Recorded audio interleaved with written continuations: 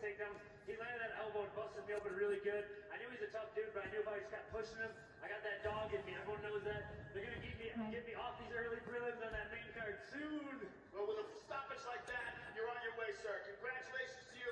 Enjoy it. Phenomenal performance. Billy Quarantillo, ladies and gentlemen.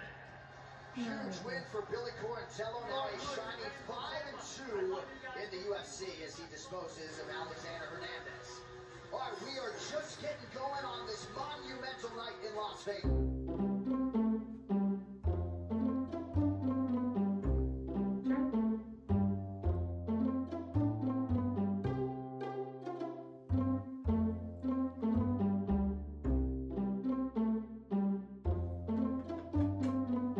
Charlie, wanna play with Peep?